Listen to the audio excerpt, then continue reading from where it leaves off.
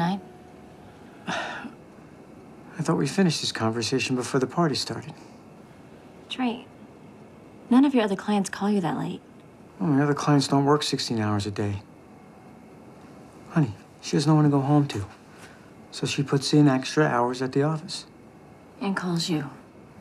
Honey, like I told you this afternoon, and this is her first big campaign. She wants everything to be perfect.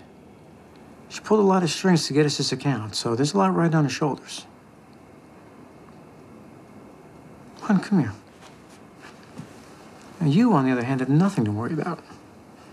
Because I love you as much today as I did 10 years ago.